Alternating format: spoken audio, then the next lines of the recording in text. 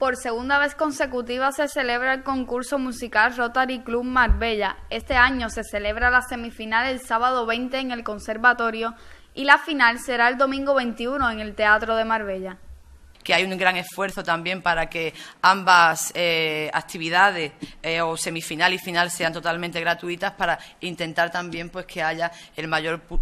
máximo público posible.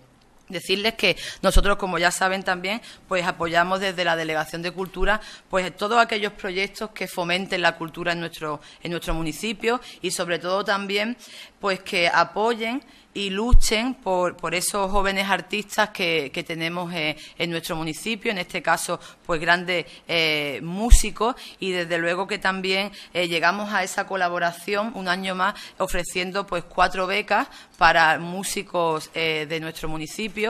El principal objetivo es ayudar a jóvenes talentos de la música y que se conozca la cultura del municipio. El objetivo, como Gema ha apuntado, ¿cuál es el objetivo? Sobre todo apoyar, ayudar a jóvenes virtuosos de la música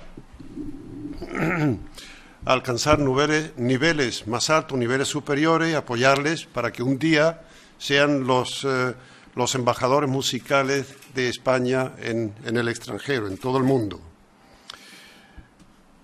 También eh, uno de los objetivos, eh, como hemos mencionado antes, es mm, enalzar la, la, imagen cultural de nuestra hermosa ciudad Marbella,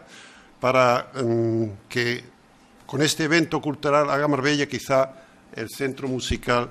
de la Costa del Sol. Han señalado que el pasado año este concurso fue un gran éxito, ya que contó con más de 250 espectadores.